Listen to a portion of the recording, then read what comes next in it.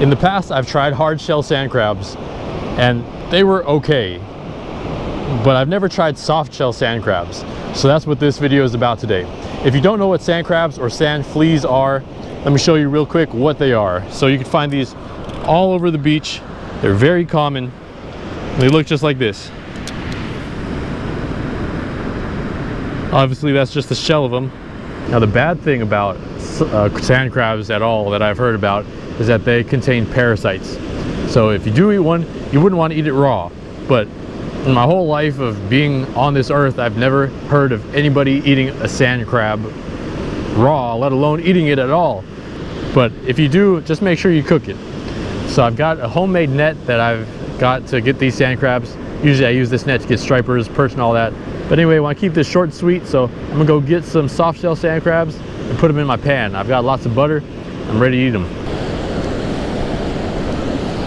You gotta really wait for the water to come out. You put the net down like that, and with your feet, you just kick up any sand. And if there's any sand crabs there, as the water goes out, they should accumulate in your net. And let's see what I got here. Got a few. Oh wow, this is a nice one. Actually, wow, this would be amazing bait. This would be amazing bait right here. That's a beautiful soft shell sand crab. Wow. Oh, I wish I had my polar with me to get some stripers right now. Geez, that's a nice one. Here we go. Oh, I bet I'm gonna get a bunch in this one. The water's going out faster. All right, let's see. Oh yeah, oh my God. Nice, this one's this one's gonna be fun to taste. This one's soft shell and it's got eggs. Put that in my pocket. I'll keep a couple hard ones too, actually, just to compare. Let's keep an eye out. Oh, here comes one right here. Probably catch him. No? Look at all these. These are all sand crabs right here. Wow. Oh, look, here's one floating. Here's another one. There's one right there. Man, this is making me really miss striper fishing. Look at all these. Oh my God, look at that one. I've never seen a soft shell that big. Oh my God. That's the payload right there. For any fishermen out there that want to come out here, catch stripers, catch perch, and have this amazing bait, soft shell sand crabs, they're out here right now. I don't know if it's the time of the season, but the hard ones have molted, and there are a ton of soft shell sand crabs right now. So this is what a sand flea sand crab looks like. And this one is soft. You can tell how, see the shell moving a little bit? That means that his hard shell has molted, and this is a soft shell. So you should be able to just bite the whole thing. It's not even gonna be crunchy. It's just gonna be like a soft shell crab. That's what I'm hoping. So I don't know if you can tell, but this side is not the head. Normally I would think that would be right, but it's not. This side is the head, and if you look closely, you can see eyes there. But on the bottom here, they have this little shovel, and they use that to dig down into the sand. But since this is a soft shell, it's really soft, so it doesn't have the power to dig down like it normally would.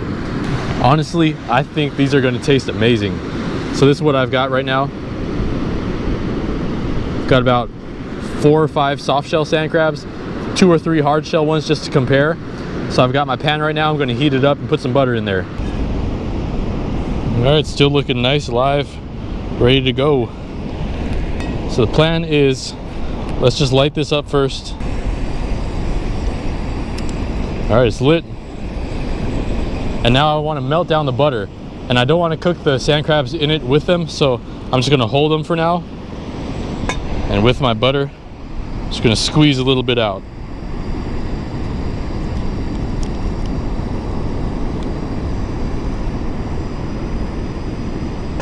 Oh, jeez. Okay, perfect. I really think the soft shell ones are going to be 10 times better than the hard shell ones. There's a little bit of sand that was left in these sand crabs, but whatever, a little sand never hurt, right? So I'm just going to drop these guys in here, and it shouldn't take them more than two or three minutes to cook. This butter is hot. I can see it's almost boiling right now. So here we go. You can see they're starting to turn red, just like a crab would. So that's how they look right now. They're all upside down, but let me see if I can flip some over. Look at that. Oh my God, that looks kind of cool. That's a soft shell one. It's another soft shell one. Wow, look at that bright orange. Holy moly. look at that. That is pretty cool right there. So one thing I do want to make sure of is that they're cooked thoroughly because if they're not, they do have parasites and I would not want to get one of them. All right, I think they've cooked long enough. Well, I don't know about this, but whatever.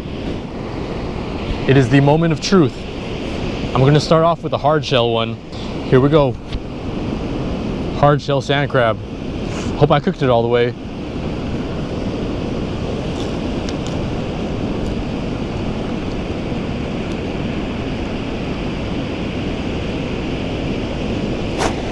Oh, I can't do it. I can't do it. I don't like that one. Ugh, it's not good. oh, oh man. I gotta apologize to these sand crabs. I think I might have ticked their life for nothing. All right, hard shell, no go. Soft shell, see if it's any better.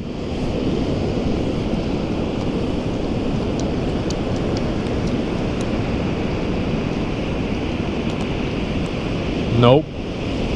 Still bad. Oh, man. I'll just eat it just for you guys. Ugh. Ooh. Ooh. Ugh, that's gross. Oh.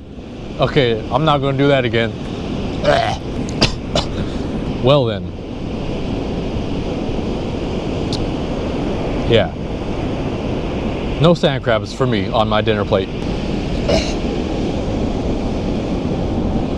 Sorry. I need to go home and get some water. Tastes really fishy. Oh, it's like oh, the guts or something. All right, oh, that's it.